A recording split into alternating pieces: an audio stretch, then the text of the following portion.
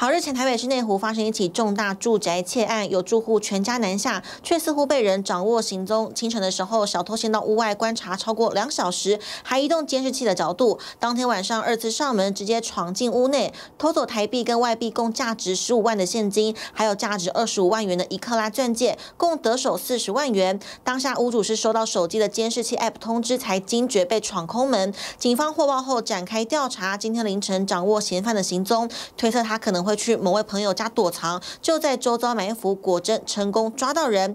而这名嫌犯是刘姓男子，三十四岁，没有固定居住的地方，四处漂泊，有时住朋友家，有时住日租套房。供称说现金全花光了，钻戒也拿去贱卖，卖了两万五千元。他也被依加重窃盗罪移送法办。